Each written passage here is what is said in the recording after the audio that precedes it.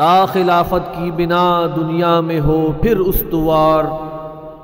ला कहीं से ढूंढ कर असलाफ का कल्बो जिगर।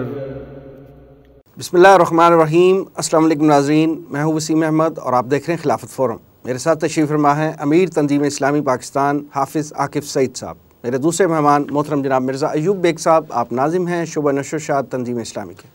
नाजरीन, इंडिया और थाईलैंड के दरमियान तकरीबन सात करोड़ आबादी वाला मुल्क बर्मा जिसे बरतानिया ने बासठ साल तक कब्ज़ा करके इंडियन अम्पायर का हिस्सा बनाए रखा और उन्नीस तक इंडिया के एक सूबे के तौर पर कंट्रोल करता रहा, जहाँ 90 परसेंट आबादी बुद्धिस्ट और सिर्फ़ चार परसेंट आबादी मुसलमान अकलीती मज़हब के तौर पर आबाद हैं। ये मज़लूम मुसलमान उस मज़हब से तलक रखने वाली कौम के हाथों तारीख़ की बदतरीन नस्ल कुशी का शिकार हैं, जो दुनिया में अमन पसंद मज़हब के तौर पर जानी और पहचानी जाती है। नाजीन बदकस्मती ये है कि पूरा आलमी इस्लाम और आज का आज़ाद मीडिया मुसलमानों की इस टारगेट किलिंग के वाक़ात पर पुरस्कार खामोशी इख्तियार किए हुए है। अलामा इकबाल ने फरमाया था, रहमतें हैं तेरी आगयार के काशानों पर, बरक गिरती है तो बेचारे मुसलमानों पर। नाजरीन, बर्मा के मुसलमानों पर ढाए जाने वाले मजालम के पसपर्दा हक़ क्या हैं? आइए ये जानने की कोशिश करते हैं। अयूब बेग साहब, बर्मा में जारी मुसलमानों पर वहशियाना तशद के हवाले से बातचीत हम करने से पहले हमें बर्मा का थोड़ा सा हिस्टारिकल बैकग्राउंड हमारे नाजरीन के लिए ब्रीफ फरमा दें, ताकि आगे बात समझने में आसानी पैदा हो जाए। बसमीम वसीम साहब बर्मा जनूब मशरकी एशिया में वाक़ है। इसका कुल रकबा जो है वो ढाई लाख मुरबा मील के करीब है। और इसकी जो आबादी है वो तकरीबन सात करोड़ के करीब है। और ये एक बुद्ध की जो मज़हब है, उससे ताल्लुक़ रखने वालों की मेजॉरिटी है। और बाकी अकलीतें हैं इनमें से सबसे बड़ी अकलीत मुसलमान है। लेकिन मुसलमानों की तादाद कितनी है इसका ज़िक्र मैं बाद में करूँगा कि इसमें क्योंकि इख्तलाफी मामला है तो रंगून इसका दारुखलाफा है।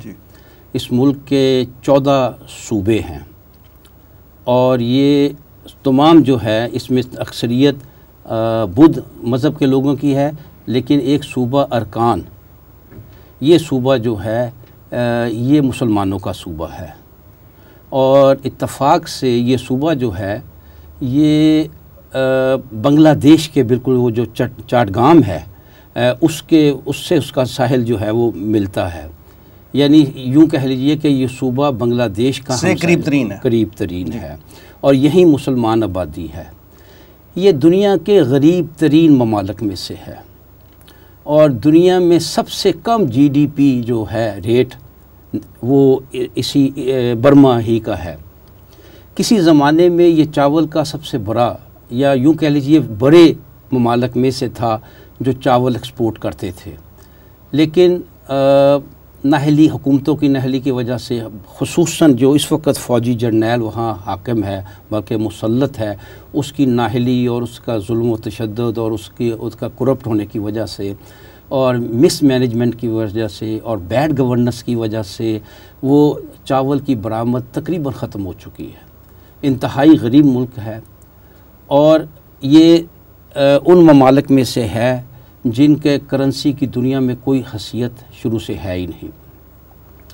इसे यू एन ओ का अगरचे एक हिस्सा है, लेकिन इसके मामलात, ये अपने मामलात कभी भी वहाँ लाना नहीं चाहता, कभी ना आए हैं। फ़ौजी तसलुत है मुकम्मल तौर पर। 1886 से लेकर 1948 तक यहाँ ब्रिटिश राज रहा।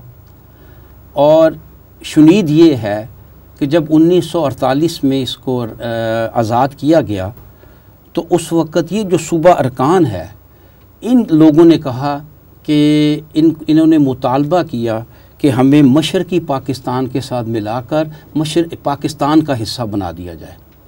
लेकिन ये मुतालबा उनका ना अंग्रेज़ ने तस्लीम किया और ना वो बर्मा के जो अक्सरियती लोग थे, उन्होंने तस्लीम किया।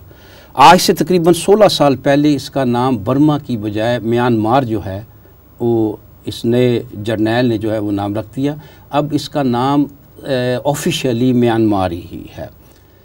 अठारह सौ छियासी से बल्कि एक, उससे भी एक सदी पहले, यूँ समझिए, कुछ तकरीबन 1784 में से पहले ये अरकान का जो सूबा है, ये एक मुकम्मल आज़ाद मुसलमान रियासत थी। इसका बर्मा से कोई ताल्लुक़ नहीं था। लेकिन सतारह सौ चौरासी में बर्मा में जो राजा था, उसका इस वक्त मेरे जिन में वो जीप सा नाम है, नहीं आ रहा। उसने हमला किया अरकान पर और कब्ज़ा कर लिया अरकान पर। और उस वक़्त से लेकर ये जबरन बर्मा का हिस्सा बना लिया गया, जबकि वहाँ बुद्ध आबादी ना होने के बराबर है।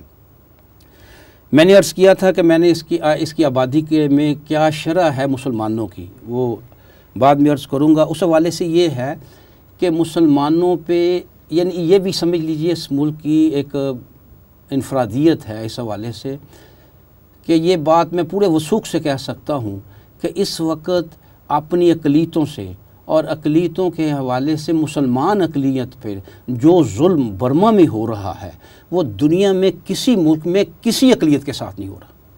किसी अकलीत के साथ। इतना तशद इतना जुल्म।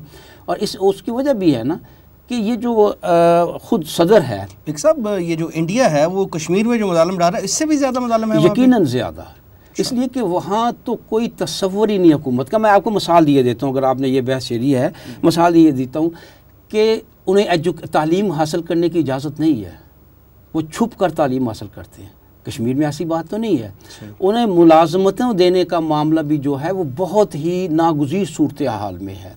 यहाँ तक आप हैरान होंगे कि बर्मा के मुसलमानों को शादी करने की इजाज़त नहीं है जब तक वो हुकूमत से खसूस इजाज़त ना ले लें।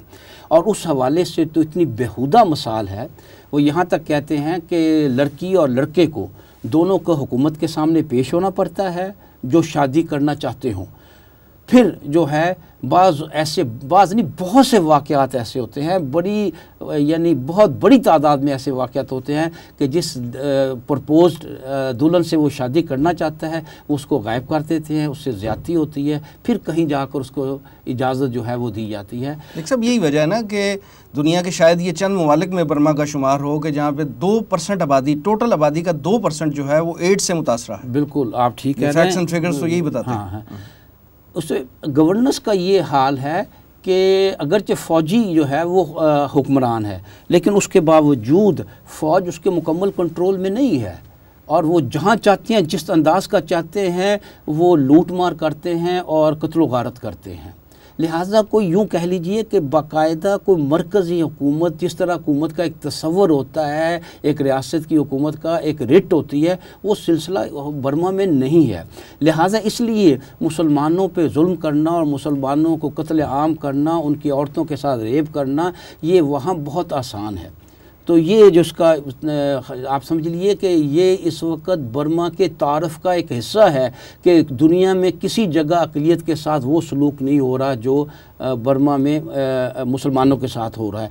इसीलिए इसीलिए मैंने अर्ज़ किया था ना कि मुसलमानों की आबादी का मैं बाद में ज़िक्र करूँगा तो उसकी वजह यह है कि बहुत से लोग जो है, वो उन्होंने अपने मुसलमान होने की सी से अपने नाम तब्दील कर लिया है। वो नहीं चाहते कि उनका नाम ज़ाहिर हो मुसलमान। वो मुलाजमतें भी अपना नाम छुपा कर हासिल कर लेते हैं। ऑफिशियली अपना मज़हब डिक्लेयर करने से ग्रेस कर रहे हैं। अंदर से वो मुसलमान है मामला उनके मुसलमान है लेकिन वो सरकारी तौर पर ना मुसलमान होने से इनकारी हैं। तो ये शायद आज दुनिया में आपको कहीं भी इसकी मिसाल ना मिले।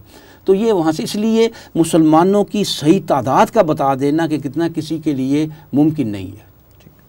आकिब सईद साहब दुनिया के किसी भी हिस्से में मुसलमान कमज़ोर हों और उन पर मजालम ढाए जा रहे हों दूसरे आज़ाद मुसलमान रियासत के मुसलमानों के लिए कुरान पाक क्या हुक्म और रहनमाई देता है? बसमीम वसीम साहब इस हवाले से एक उसूली बात तो ये है कि मुसलमान एक उम्मत है एक आइडियोलॉजिकल स्टेट कहते हैं इस्लाम को इस्लामी रियासत को।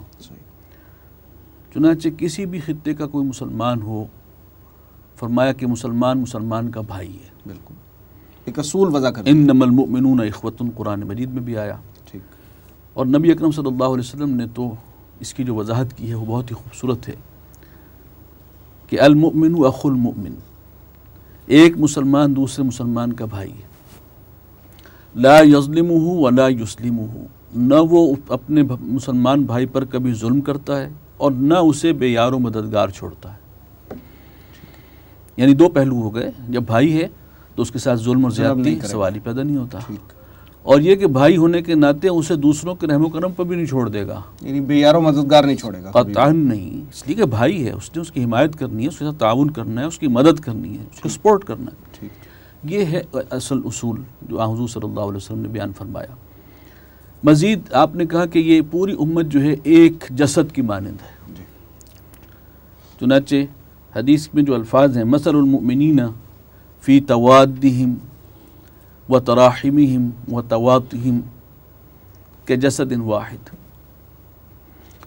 तमाम मुसलमान एक दूसरे से मोहब्बत, एक दूसरे से ताल्लुक़ात इस हवाले से एक जसद की मानंद है एक जिसम है और उस जिसम का कोई एक उज़ू भी अगर तकलीफ़ महसूस कर रहा है तो उस तकलीफ़ को पूरा जिसम महसूस करेगा।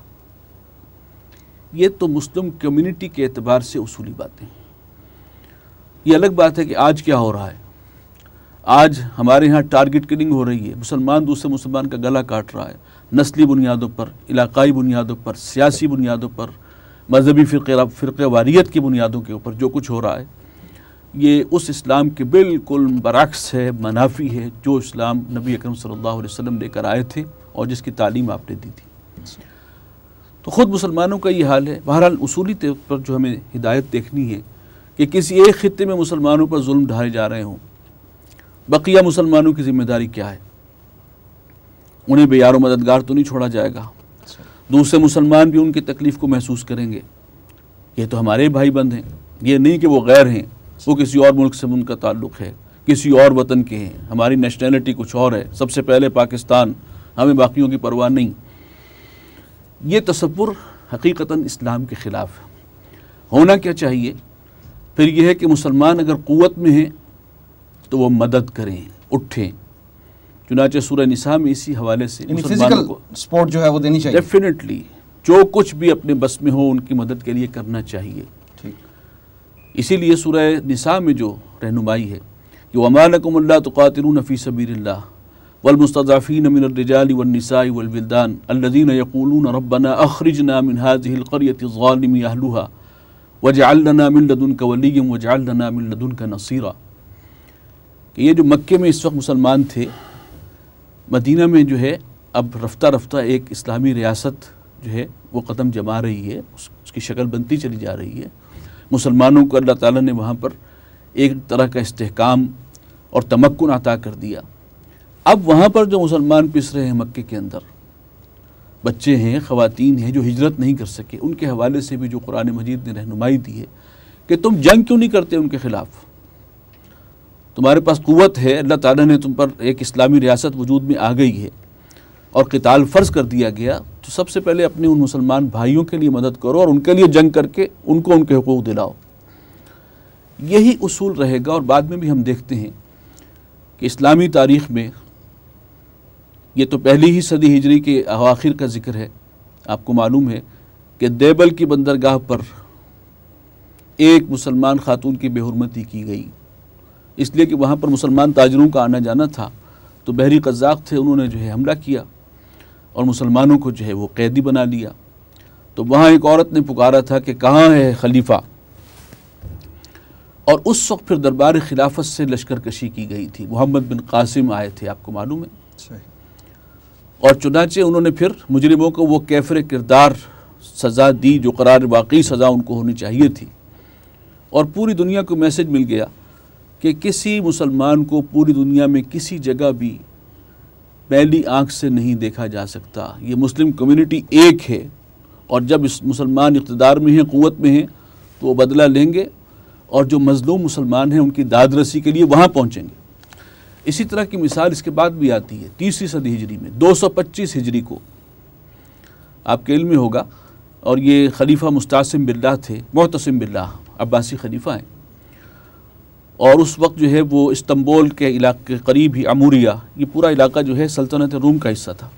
तो अमूरिया एक शहर था, वहाँ पर कहा जाता है कि एक खातून को नाहक कैद किया गया, या एक रिवायत के मुताबिक सर बाज़ार उसकी बेहरमती की गई और उसने पुकारा, वाह मोतसमा यानी मोतसम को आवाज़ दी कि ये तो हमारी इज़्ज़त और आबरू का मुहाफ़ तो खलीफा होता है। कहाँ है वो? और खलीफा तक ये बात पहुँची। दरबार खिलाफत से लश्कर कशी की गई और वहाँ पर जो है फिर उस शहर को फ़तह किया और उस मजलूम खातून को छुड़ाया गया। ये है इस्लामी तारीख़ और मुसलमानों के लिए जो असल किरदार है, उसकी रोशनी हमें वहाँ से मिलती है। नाजीन हमें यहाँ पे लेना है छोटा सा ब्रेक बर्मा पे जारी मुसलमानों पर तशद के हवाले से बातचीत जारी रहेगी। Stay with us will be right back ता खिलाफत की बिना दुनिया में हो फिर उस्तवार। ला कहीं से ढूंढ कर असलाफ का कल्बो जिगर। वेलकम बैक नाजरीन। अयूब बेग साहब बर्मा के मुसलमानों पर जारी तशद की हालिया लहर जो है इसका आगाज़ कब और कैसे हुआ? वसीम साहब बर्मा का जो फ़ौजी डिक्टेटर है थेन सेन वो एक अरसा से बर्मा पर मुसलत था। तो आपको पता है कि ये जो आज जमहूरी दुनिया है ये हकीकता भी और कुछ इनकी मजबूरी भी है कि ये जहाँ जहाँ जमहूरीत नहीं होती वहाँ ये मुतालबा करते हैं कि जमहूरी निज़ाम जो है वो कायम किया जाए। ये दबाव आया बर्मा के सदर पर कि इंतबात कराए जाएँ और आवाम को मौका दिया जाए अपना चुनने के लिए के लिए। तो फिर उसने मजबूर होकर सन 2010 के अवाखर में वो उसने इंतबात जो है वो बर्मा में करवाए। जब वो इंतबात करवाए गए तो उन इंतबात में आंग सांग सूची एक ख़ातून है। और इनका भी बारे में भी थोड़ा सा तारफ़ हो जाए कि इनके वालद ने मुसलमानों के साथ मिलकर ब्रिटिश के ख़िलाफ़ जंग की थी आज़ादी के लिए। यही मोहतरमा है इनका वालद जो था वो उसने मुसलमानों को साथ दिया था और मुसलमानों ने एक बड़ा कलीदी रोल अदा किया था। मकबूल लीडर हैं हाँ, ये जो है और, और इनके वालिद भी बहुत मकबूल थे वहाँ। और वो मुसलमानों के में के यहाँ भी मकबूल थे। इस औरत ने इस खातून ने इंतबात में हिस्सा लिया। आ, मैंने अर्ज़ किया 2010 में ये इंतबात हुए थे। और इससे इसने मुसलमानों के बारे में अच्छे यानी अंदाज से, मुस्बत अंदाज से बात की और मुसलमानों के हमदर्द होने का एक तोसर दिया और मुसलमानों के लिए बेहतर मुस्तबिल की ऐसी बातें की जिससे मालूम होता था कि वो मुसलमानों के हवाले से भी बर्मा में एक अच्छा मुस्तबिल चाहती हैं।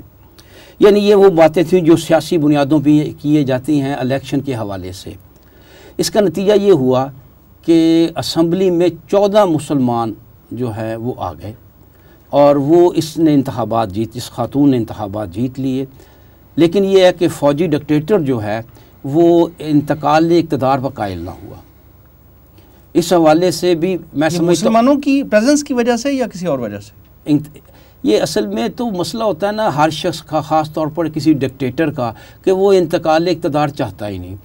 मैंने अर्ज़ किया कि इलेक्शन भी इलेक्शन भी उसने जो है वो बैरूनी दबाव की बुनियाद पे करवाए थे।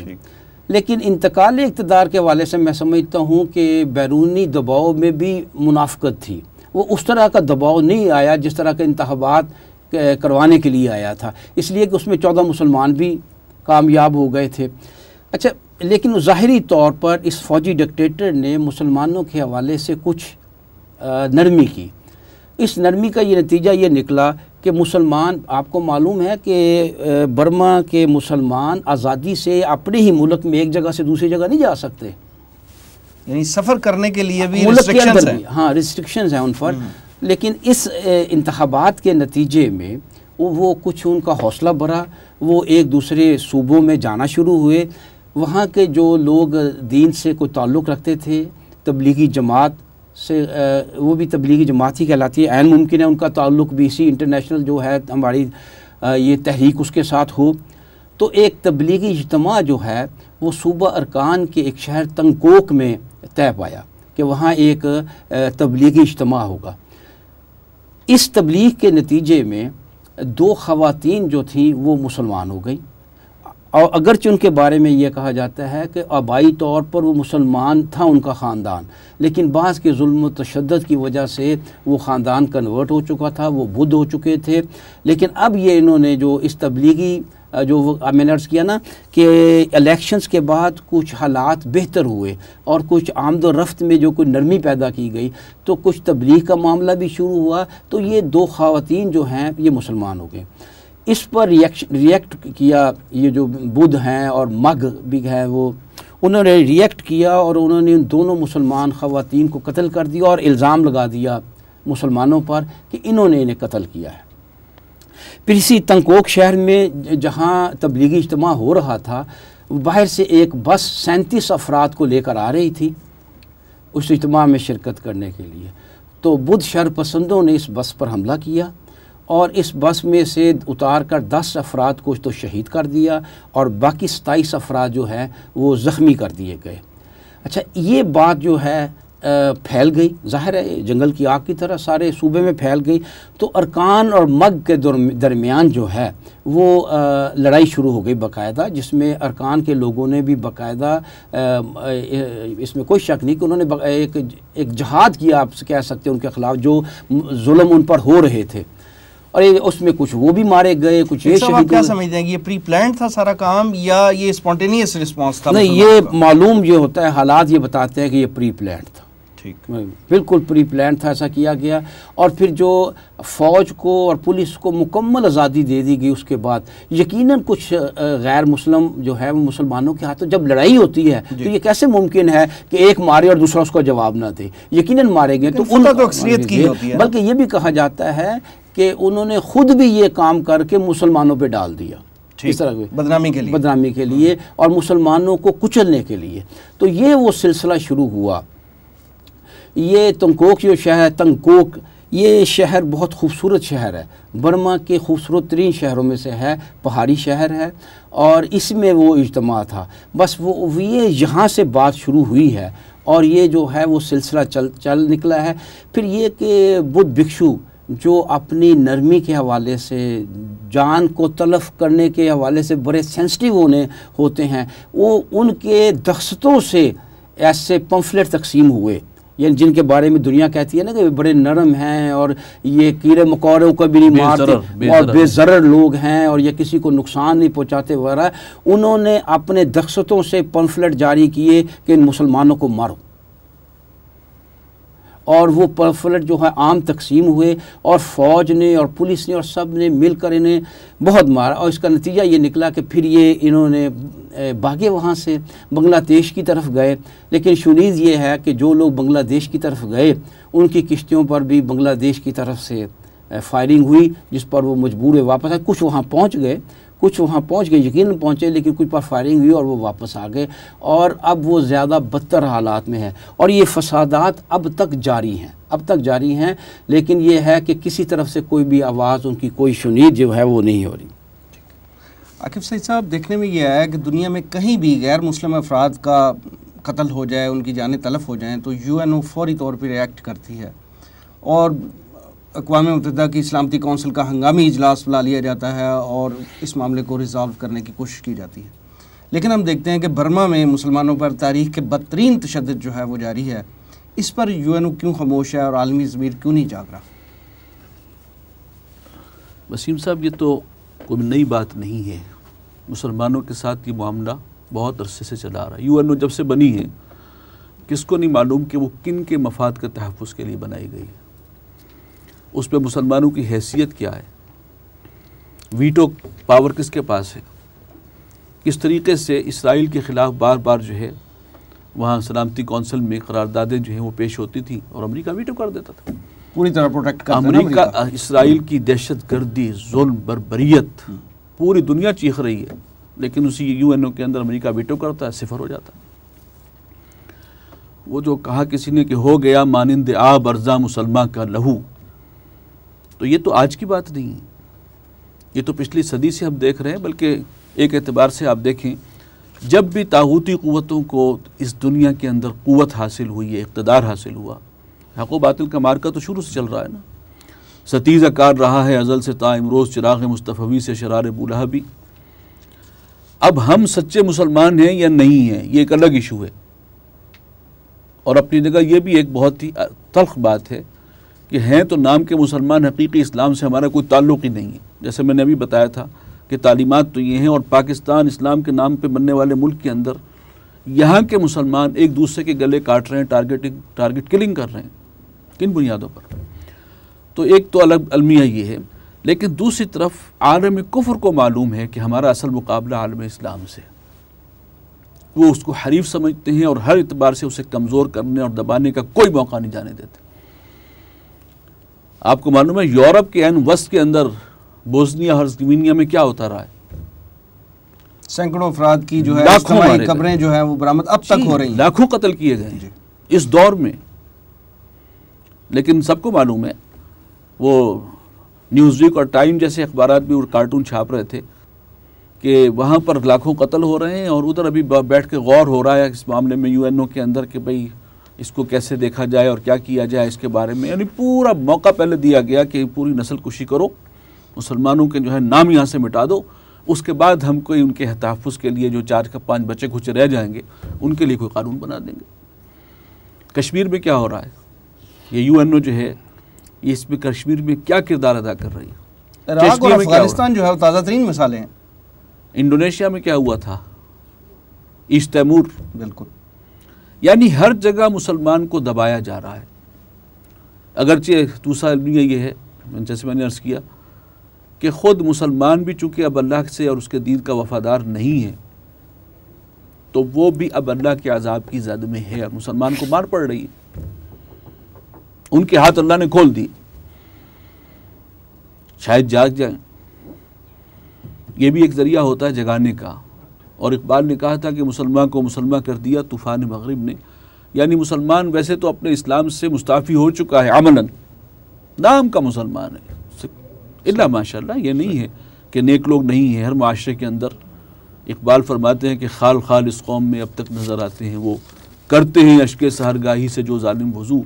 लेकिन ऐसे लोग हैं कितने माशरे में? हज़ार में दो चार होंगे या लाख में दो चार होंगे। तो ये एक मामला चल रहा है कि आलम कुफ्र बहरहाल इस्लाम को, चाहे वो नाम का इस्लाम हो, वो उसे गवारा नहीं है।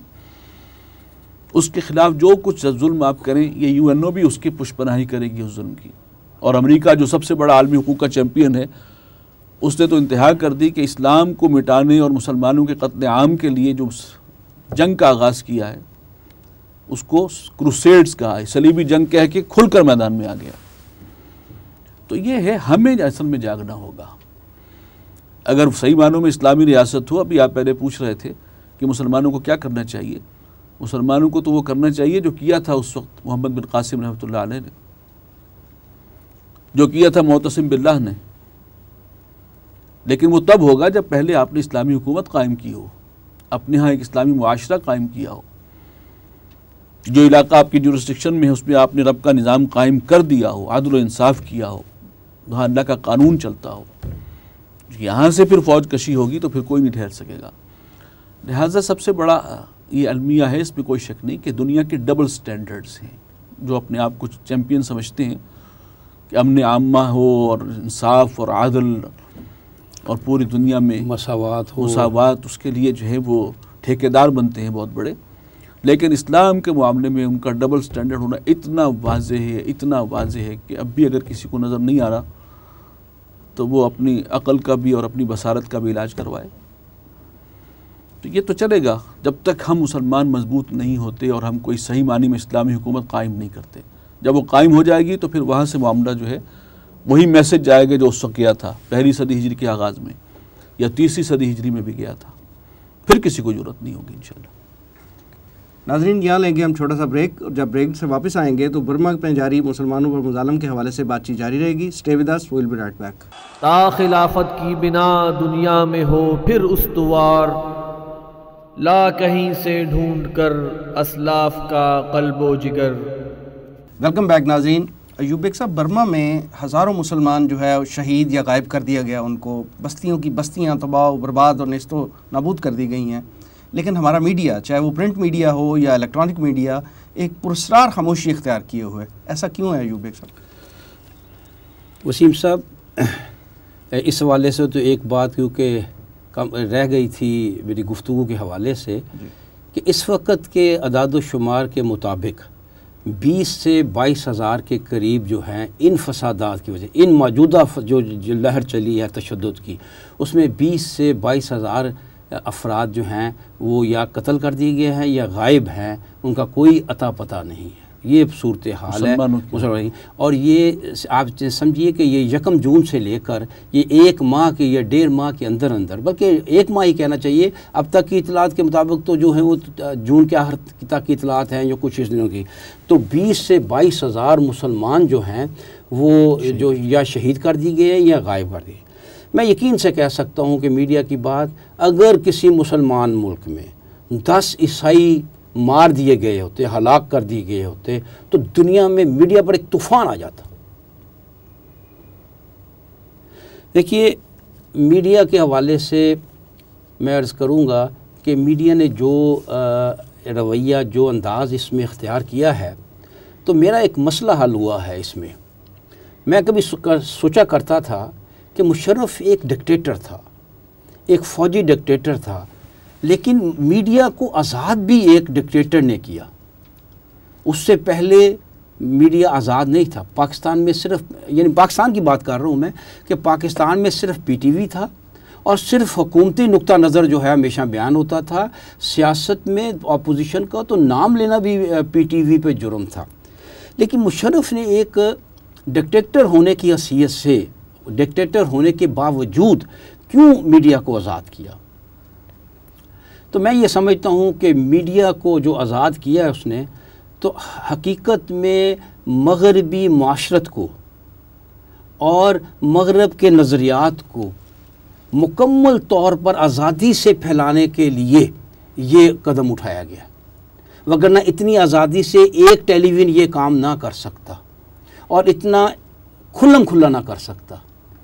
अब ये मामला ये है कि मैं आपको मिसाल देकर बताता हूँ कि जैसे आप बता रहे हैं कि बर्मा के हवाले में से ख़ास तौर पर इलेक्ट्रॉनिक मीडिया शायद एक आध प्रोग्राम हुआ हो वो भी देगा और वो भी बहुत फीका सा और मतलब बहुत ज़िमनी किस्म का हुआ ना? प्रोग्राम हुआ है लेकिन उसके अलावा इलेक्ट्रॉनिक मीडिया मुकम्मल तौर पर खामोश है उसकी वजह यह है कि मैं ये समझता हूँ कि हमारी आवाम का भी कसूर है इसमें आवाम मुकम्मल तौर पर मीडिया गाइडेड हो चुकी है। अवाम को जिस तरह चाहता है मीडिया उसका रुख, उसका जेन उस तरह बना देता है, बना देता है।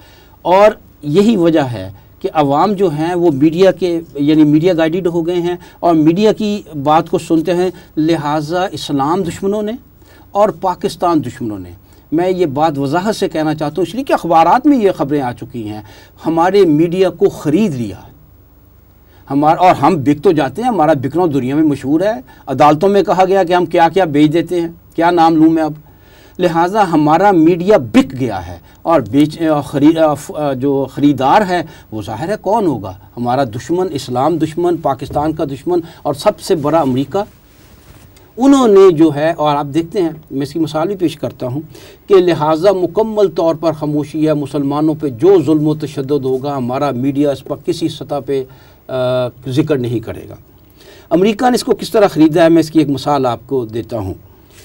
आपको मालूम है कि चंद साल पहले हमारी फ़ौज ने जनूबी वज़ीरस्तान पर और सवात पर हमला किया, यानी अपने ही शहरों पर हमला किया, और जो जुल्म तशद सामने आया, जो यहाँ तक कि बाहर का कुछ मीडिया चीख उठा कि बहुत जुल्म तशद है। ये बातें भी हुई कि एक सफ़ में लोगों को खड़े करके तो फायरिंग यानी फायरिंग स्क्वाड में और उन्हें हलाक कर दिया गया, उन्हें शहीद कर दिया गया। लेकिन आप देखिए कि हमारे मीडिया ने उस वक़्त फ़ौज का मुकम्मल साथ दिया। और मुकम्मल तौर पर मीडिया पर यह बात आती रही कि दहशत गर्द मारे जा रहे हैं दहशत गर्दों को हलाक किया जा रहा है, हमारी फ़ौज जहाद कर रही है दहशत गर्दों के ख़िलाफ़। इस पर यह बात समझ आती थी कि मीडिया शायद फ़ौज से ताउन कर रहा है। वो फ़ौज से ताउन नहीं था, बाद के हालात बताते हैं। वो अमरीका से ताउन था। क्यों? इसलिए कि बाद में जब दो मई के बाद और सलाला के वाक़े के बाद जब अमरीका और फ़ौज की आपस में ठन गई जब वो उनकी आपस में ना बनी और आपको हालात ऐसे पैदा हो गए कि फ़ौज और अमेरिका जो है, वो कम अज़ कम ज़ाहरी तौर पर एक दूसरे की मुखालफत करने लगे या मैं समझता हूँ कि हकीकतन उनमें मुखालफत का आंसर आया। तो हम देखते हैं कि मीडिया यकदम फ़ौज के ख़िलाफ़ हो गया। तो इसका क्या मतलब निकला? पहले मीडिया फ़ौज के साथ था, जब मीडिया वो काम कर रहा था जो अमेरिका चाहता था। तब मीडिया साथ था। जब अमेरिका जब फौज वो काम कर रही थी जो अमेरिका अमेरिका चाहता था जो अमेरिका चाहता था वो फौज काम कर रही थी तो मीडिया साथ था। अब क्योंकि मीडिया अमरीका और फौज का मामला आपस में गड़बड़ हो गया तो लिहाजा मीडिया अब क्योंकि अमरीका का ख़रीदा हुआ है अमरीका मालक है उसका उस वक्त। कोई शास की मसाल हो सकती है कोई जो जो इस सौदाबाजी में एक्सेप्शन तो हर चीज़ में होती हैं। तो अब वो इस्टेब्लिशमेंट ये कर रही है अब मिसिंग पर्सन का मसला भी बड़े ज़ोर से उठाया जा रहा है। फ़ौज के जर्नैल्स को पहले उन्हें मुकदस गाय हकीकतन बनाया गया था अब क्या अब कहा जाता है क्या फ़ौज मुकदस गाय है वगैरह वगैरह। तो इस वक्त मीडिया पर जब फ़ौज के साथ, यानी नेटो सप्लाई से खुलने से पहले से तो मैं यकीन के साथ कह रहा हूँ कि जितनी तनकीद मीडिया ने फ़ौज पर की है, किसी और अदारे पर नहीं। क्यों? अब अमेरिका फ़ौज के ख़िलाफ़ हो चुका था। लिहाजा ये बात ज़ाहिर है कि बर्मा के हवाले से भी हमारे मीडिया को अगर अमरीका ने इजाज़त दे दी कि पूरी सफ़ाई करने के बाद वो वो क्या कहते हैं, लेपापोती करने के हवाले से जब हमारे मीडिया को इजाज़त मिल गई तो ये आज़ाद हुआ है हमारा मीडिया। इस अंदाज में कि किस तरह उसने उन बातों को फैलाना है जो इस्लाम दुश्मन लोग, पाकिस्तान दुश्मन लोग चाहते हैं। तो ये हमारी मीडिया का असल रूप है। और जो यकीन के साथ कहा जा सकता है, इन्हें शर्म आनी चाहिए, ये इंतहाई भयानक है और ये इंतहाई खौफनाक है और ये इन ताला इनको बहुत महँगा पड़ेगा। यूबेक साहब, देखें, हमारे मीडिया का रोल जो है वो इस अंदाज में शर्मनाक और इस हद तक गिरा हुआ है कि बर्मा में मुसलमान शहीद हो रहे हैं, उन पर तारीख के बदतरीन मुजालम डाए जा रहे हैं और हमारा मीडिया एक टेनिस स्टार की शादी की, पहले तो ख़बरें वो हाइक पे पहुँचा दी थी चंद माह पहले।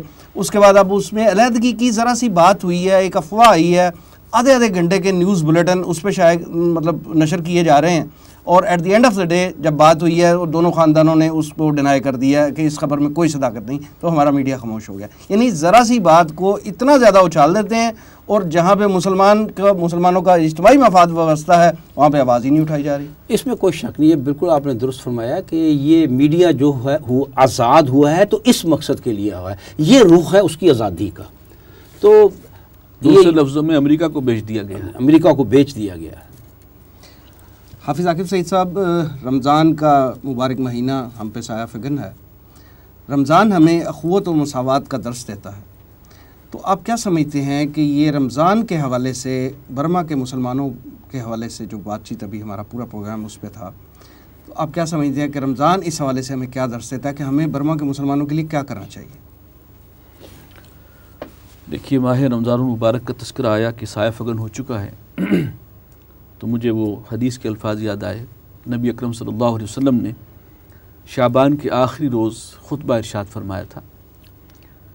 इस खुतबे को नकल किया है इमाम बहकी ने अपनी किताब में, शोबुल ईमान में। और इसके रावी है हज़रत सलमान फ़ारसी रज़ी अल्लाह ताला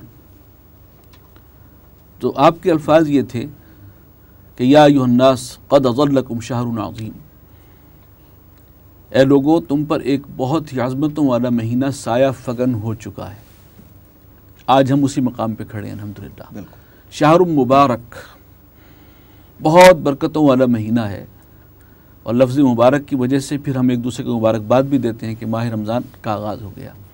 और वाक़ता इस लायक है कि मुबारक दी जाए। नेकियों का मौसम बहार है। तो इस मौके पर वाकई सोचना चाहिए गौर करना चाहिए। और इसी महीने को कहा गया, इसी खुतबे में हजूर फरमाते हैं कि शाहरुलमवासात और भी बहुत से इस महीने के फ़जाइल आपने बयान फरमाए उस खुतबे में। लेकिन एक जुमला, एक लफ्ज़ जो इस खुतबे में आया, वो आज के मौजू से मुतल है। शहरमवासात ये बाहमी हमदर्दी और भाईचारे का महीना है। और जब पूरे मुसलमान उम्मत एक कम्युनिटी है, सब भाई हैं तो हमें अपने दूसरे भाइयों का ख्याल रखना चाहिए, उनका ख्याल ज़्यादा आना चाहिए। वैसे तो सारे साल होना चाहिए। लेकिन बिलखसूस इस महीने में उनकी तरफ़ उनका ख्याल रखा जाए, कैसे उनकी हम मदद कर सकते हैं, किस तरीके से इस मामले को जो है हम आलमी मीडिया पर उठा सकते हैं, इस सब के बारे में जो जिस लेवल पर है उसे गौर करना चाहिए। जो मुसलमान हुक्मरान हैं, नाम के मुसलमान सही, लेकिन रमज़ान का किसी न किसी दर्जे में एहतराम तो करते हैं। उन्हें इकट्ठा होना चाहिए। कि हमारी ही बिरादरी का, की एक कम्युनिटी हमारी कम्युनिटी है, उसका एक तबका जो है, उस पर जोम के पहाड़ तोड़े जा रहे हैं इक्कीसवीं सदी के अंदर। और पूरा आलमी मीडिया जो है, वो खामोश है और वो बुद्ध बन के तस्वीर देख रहा है।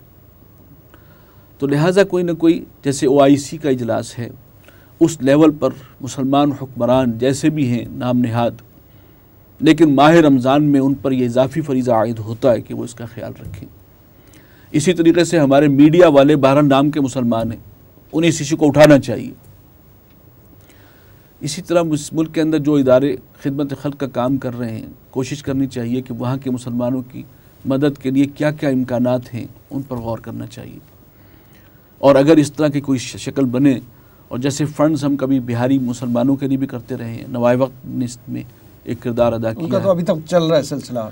तो ये भी हमारे मुसलमान भाई हैं इनकी जिस उनको रेस्क्यू करने के लिए जो पॉसिबल जो भी होने चाहिए उस पर गौर फ़िक्र भी हो और जो कदम उठाया जाए वैसे भी इस महीने में जो भी खैर का काम किया जाएगा तो उसका अजर सवाब साल के बकिया ग्यारह महीनों के मुकाबले में कम से कम सत्तर गुना ज़्यादा है। बिल्कुल ये भी इसी खुतबे में ये वजाहत आई है। तो इस पहलू से हमें यकीनन गौर फ़िक्र करना चाहिए। और सबसे बड़ी बात यह है कि दर हकीकत हम उनकी मदद करने के काबिल तब होंगे जब हम एक इस्लामी हुकूमत कायम कर दें, फिर अल्लाह की मदद हमारे साथ होगी। हमें चाहे बोस्निया के मुसलमान हों, चचनिया के हों, कश्मीर के हों, इंडोनेशिया के अंदर, ईस्ट तैमूर के अंदर जो मुसलमानों के साथ हुआ और उसको ईसाई स्टेट बना दिया गया, उसको अलग काट के जो है, किस तरीके से यू एन आगे बढ़कर उसने कदम उठाया है।